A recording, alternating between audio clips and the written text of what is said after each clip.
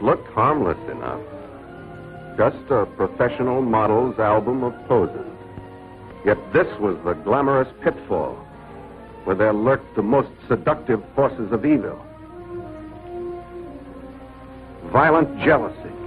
Johnny, I like that girl. I don't care what you like or what you don't like.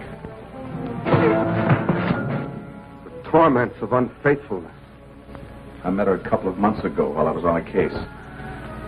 What about this girl? Somebody told him a lot of things about her and me. Are they true?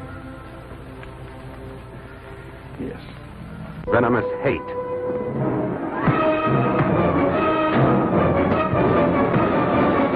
The raging fury of a guilty conscience.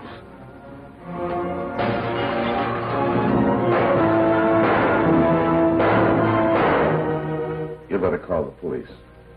I just killed a man.